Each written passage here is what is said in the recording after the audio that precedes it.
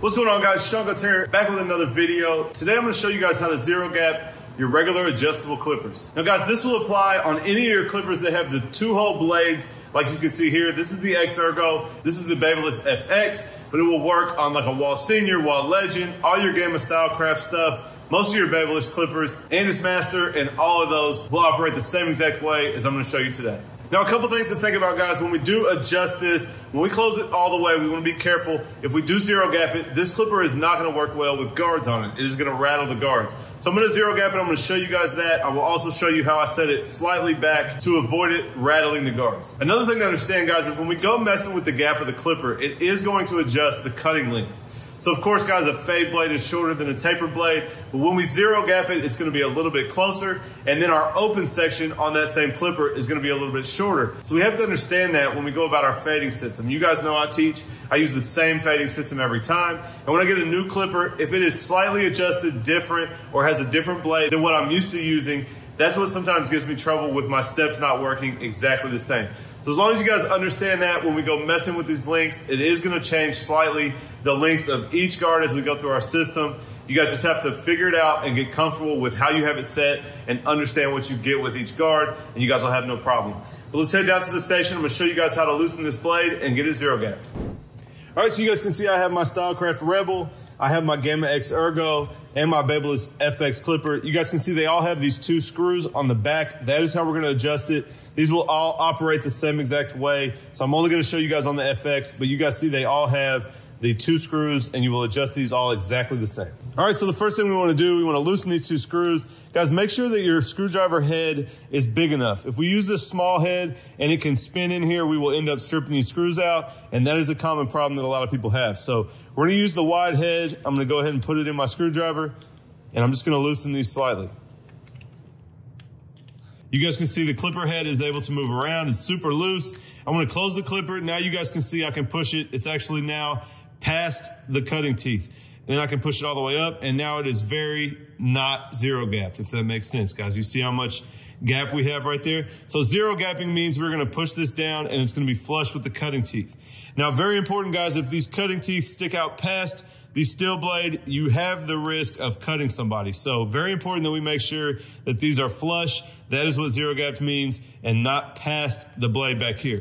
Now I'm gonna show you guys how I go about adjusting that with my mirror. So you guys can use any hard surface. The mirror is something that I like to use. The power mat's a little bit soft, so I would not use that, but you can use a station, something that's solid. We're gonna use the mirror today.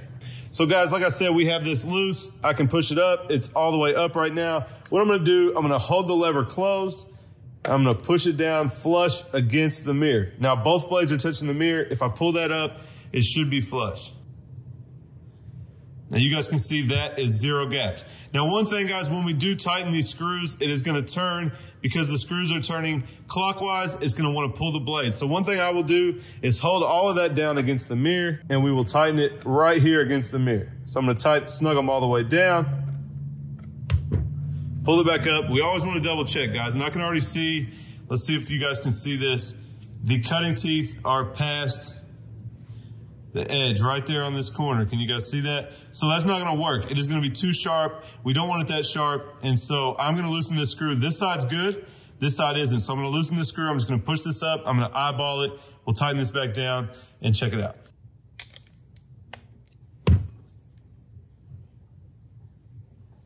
So now you guys can see that is actually zero, zero, zero gapped. That is very close. And again, guys, this time I'm gonna do it this way so I can see what I'm doing. I'm gonna hold it in my hand. You see I have the clipper closed, held back here.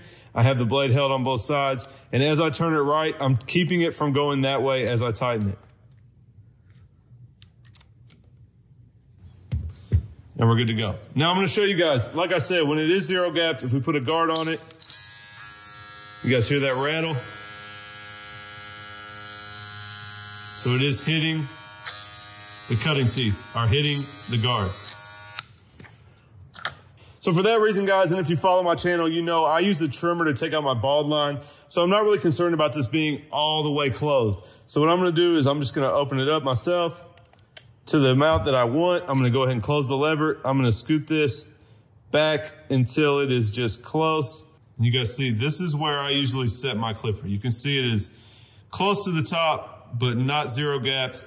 Now, another thing to notice, guys, we want to make sure when we put the blade in, if you guys can see, it's hard to see on this black blade. Our steel blade is back here. Our cutting blade is here. We want to make sure that when it goes back and forth, it covers the full gap on the open teeth right here. So you want to turn it on. You want to make sure that it's covering past this line and it's coming past this line. You guys can see mine is actually a little bit further this way. So I'm going to loosen that up and move this back to the center. I'm gonna make sure you guys can see what I'm talking about. So you see we got our cutting blade in the middle and you see we, we can see a lot of these teeth over here on the steel blade and we and it's coming too far over this way. So you see as I move that, we're gonna put the steel blade perfectly centered behind the cutting teeth. Now you guys see it is not very gapped, so I'm just gonna lightly press down to move that down to where I want it. I think that's a good amount. We'll go ahead and tighten that down and we're gonna call this done.